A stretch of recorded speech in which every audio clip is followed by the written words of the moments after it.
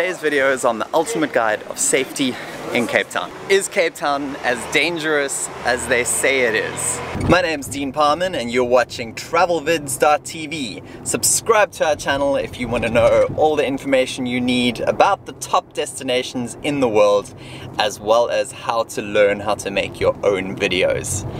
Today I am driving to downtown Cape Town city center to talk about a very interesting topic, safety. In this video, we'll be looking at the topics safety on the roads, other forms of transport, how to get around in the inner city on foot, your street etiquette, and where you stay. Not too long ago, we did a video on Long Street to highlight what there is to see and do in this place. And this video got quite a lot of negative attention based on the fact that it's a controversial subject about the safety of being in the center of Cape Town. Now, if you come here, you'll notice that the waterfront has got like 26 million uh, visitors every year, and that's purely because people feel safe when they go there. You gotta remember, Cape Town is a growing city. It's a developing country in a third world environment, but it has a lot, it has a lot of poverty on the one side and it has a lot of wealthy people on the other side, all coming together in this melting pot of cultures. Like many other tourist destinations, there are going to be opportunistic crimes and you need to prepare for these. These are some of the things we're going to look at today. So today's video is the ultimate guide to being safe in Cape Town. Traffic is definitely getting worse. Oh. Topic number one is safety on the roads in Cape Town. Driving in Cape Town can be a little bit uh, tricky sometimes, especially if you're not used to driving in Africa. We have a little bit of a Wild West thing that goes on here, but the interesting thing is people are very friendly. We like to greet, we like to hoot, there's people crossing the street, there she's waving at me and I'm smiling at her.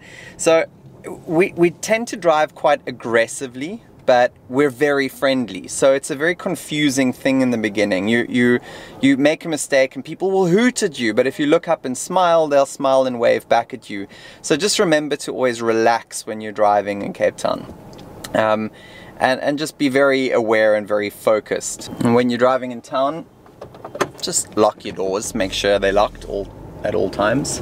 Now, although we have lots of rules on our road and road signs and stop streets and that, it's always best to rather judge things on behavior. So look at how the person in front of you is driving, leave enough space.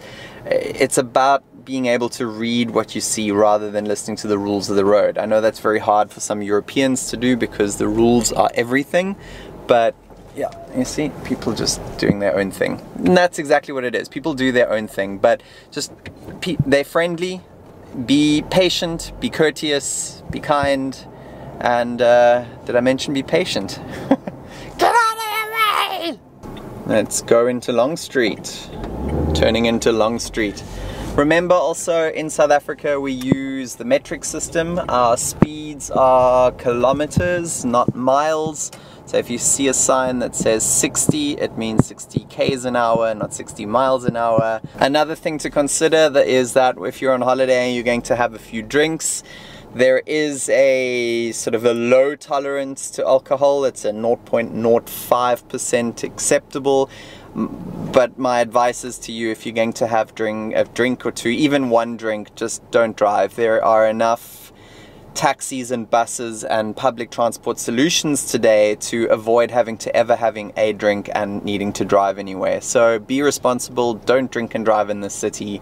It's not worth being in a situation where the cops are going to query you and sort of ask, uh, have you had enough? Just zero tolerance. Go with the zero tolerance rule. Um, as I just said, there's a lot of other options and I'll go straight into that next. That is the next topic. Let's talk a little bit about public transport in Cape Town. Now, prior to the World Cup in 2010, it didn't exist. Well, it used to exist, but it kind of fell apart. Sorry, past. Since 2010, I must admit, our public transport has been up and up and up and just improving every year.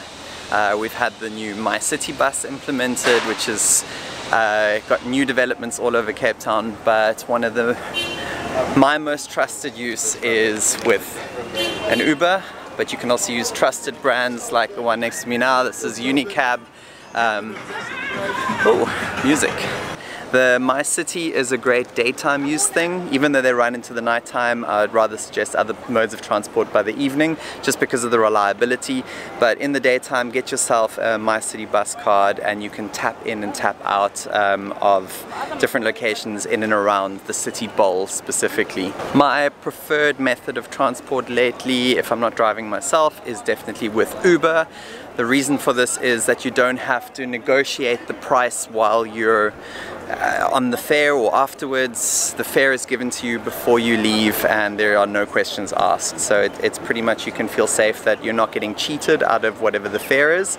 And also it's a way to um, make sure that you are getting the right person, a reliable person. So if it says that Bongani is going to fetch you and you check on the phone, it says Bongani, get in the car, you say, hi, are you Bongani? He usually asks for your name too and everybody's good to go. So it's definitely a way to feel very safe and that you're not going to get cheated. One tip with the MyCiTi is make sure you know the routes because sometimes it can be a little bit complicated connecting two parts that are actually within walking distance but you end up taking a bus all the way around town. So take a bit of time to make sure you learn the routes where you want to go and also ask people. Ask the people. They'll they'll help you and get you to the right place as quick as possible. If you're in the city, you gotta chill. You gotta you gotta relax like for real. The city is very safe. Um, we got our guys, the CCIDs uh, the Iliso,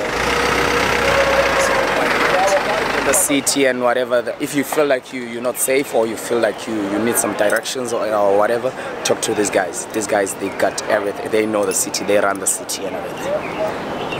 Okay. And of course you get guys like this, you just walk past and they're like, yeah. yeah. So people in people in Cape Town are super friendly and always ready to help and you just so, gotta open your mouth and ask, ask for help don't be afraid to talk to people.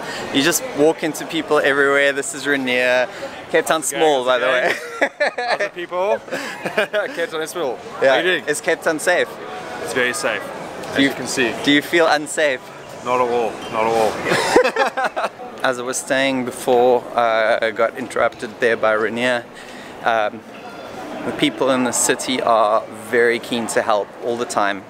Uh, if you feel unsure about anything, you can uh, ask people walking in the street. The chances of them helping you are super high. Uh, or you can just walk into a shop and any shop assistant will definitely point you in the right direction, answer any questions you have. You have to learn to break that fear of speaking to strangers if you have that. Um, it'll definitely get you through anywhere in the world. Being vocal will keep you safe. One funny thing that can happen is you'll be in a street like this that's quite busy and booming and you take a corner and next thing you're in a spot where there's like nobody. Just always remember, take a few steps back and go back to where you were a few moments ago. It's, uh, it's always good to be where other people are. A few small handful tips uh, on street etiquette and this again will count for anywhere, not just Cape Town but I see a lot of um, younger people especially, but also especially ladies, love to keep their cell phone in their back pocket hanging halfway out. I know it's a status and a trend and a cool thing, but it's not something you do when you're walking through a town. Pack it away and make sure it's concealed, you don't see it.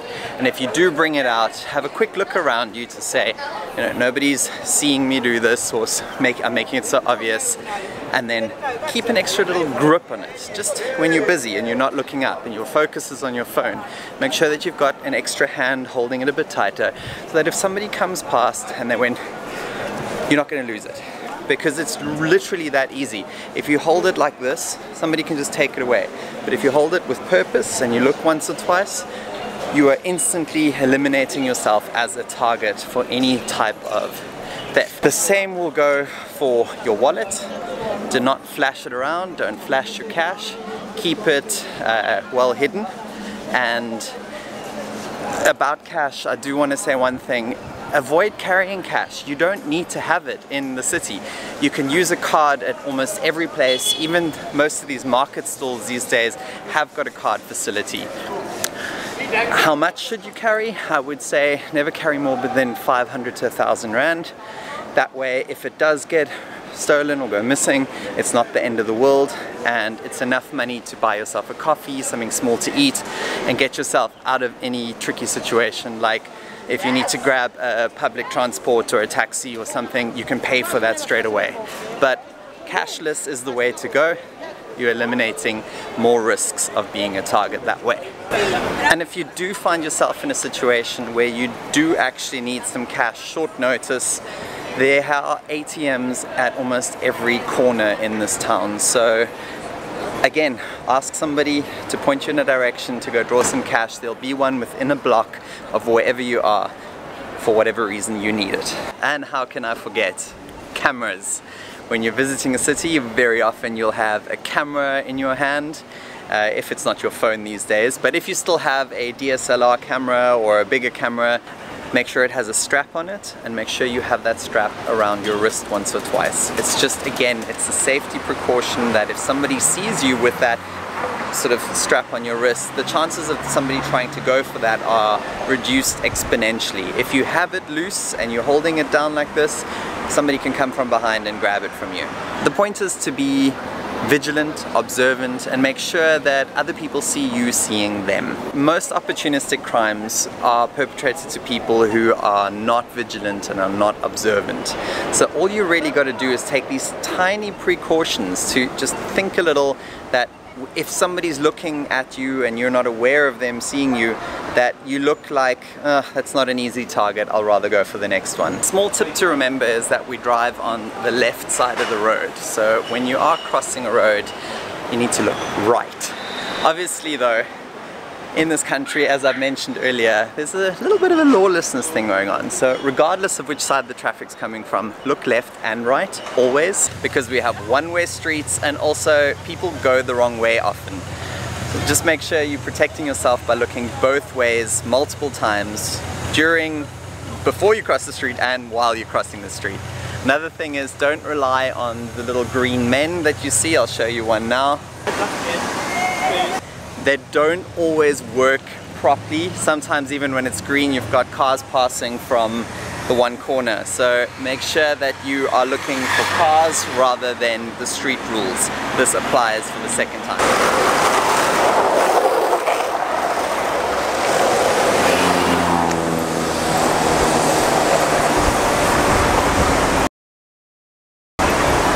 If there's no cars, you can go for it. You will not get a fine for jaywalking in this town.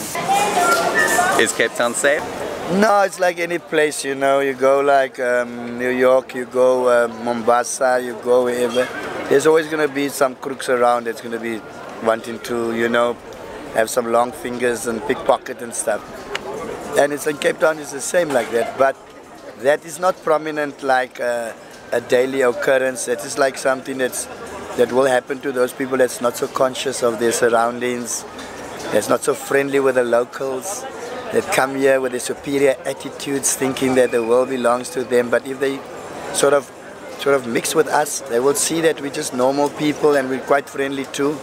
Those of us that were born here in the mother city and who's been here for a while.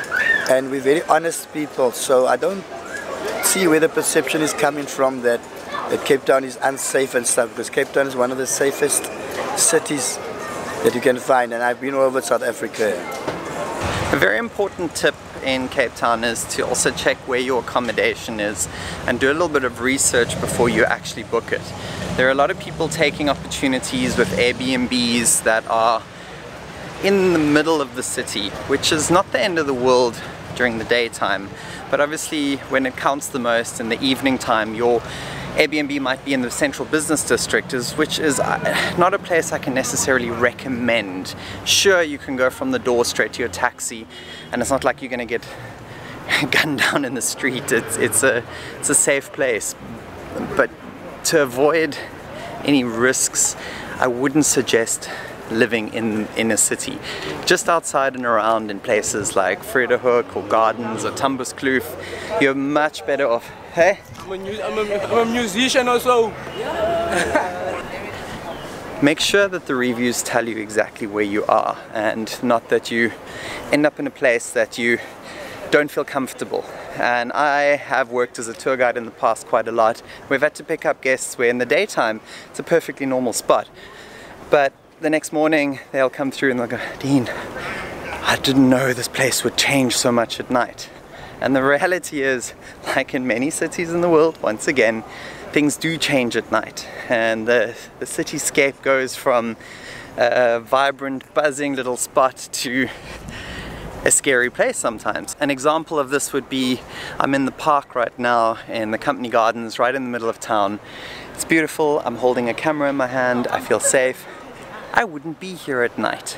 So it's very important to understand where you can and can't be day versus night. Let's close that window so you can hear what I'm saying.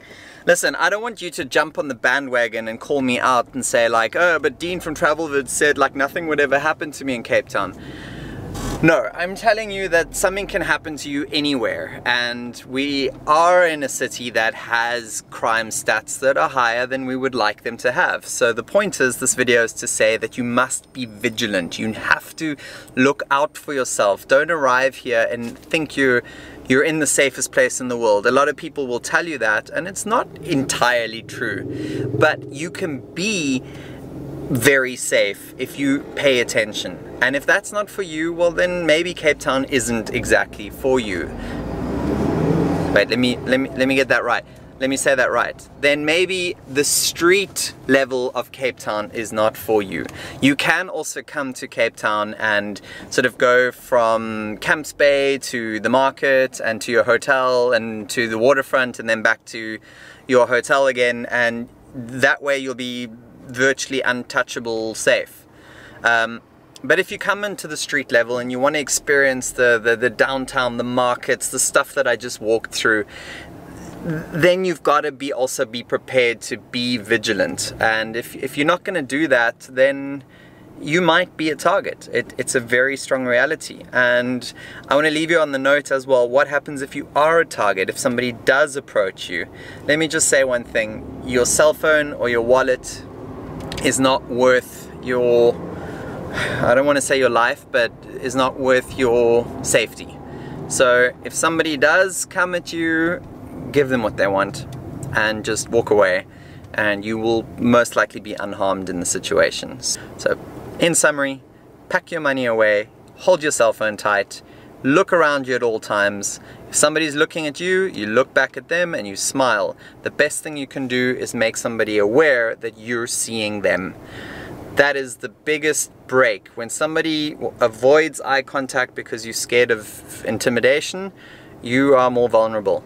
Look at them. Look people in the eye. Greet them. Be friendly, be forward, be bold, ask questions, enjoy Cape Town. So if you found this video useful, subscribe to our channel, hit the little bell so that you can be notified when the next video comes out. We will see you in the next one and now you can watch the Longstreet video. I'll put it in the end card, the one that was the cause for making this video in the first place. I'm out. Ciao.